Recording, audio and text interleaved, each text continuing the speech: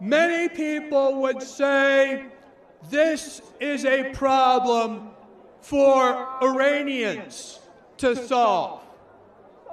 But I am here as an American who says that it's not just a problem for Iranians to solve, it's a problem for any person in this world who cherishes freedom and democracy and who hates the tyrannical regime of the mullahs in Iran.